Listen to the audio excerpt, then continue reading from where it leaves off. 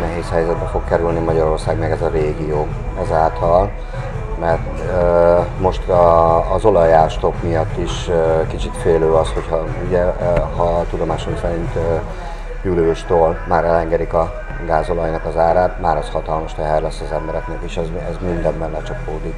Akár a vendéglátásban, a, a hétköznapi emberek uh, életében plusz arról nem beszélve, hogy a fűtőanyagok is milyen drágák lesznek, és az energia.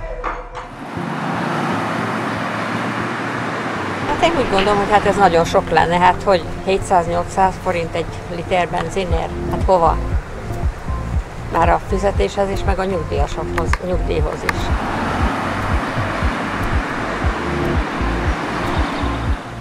Hát ez őrület.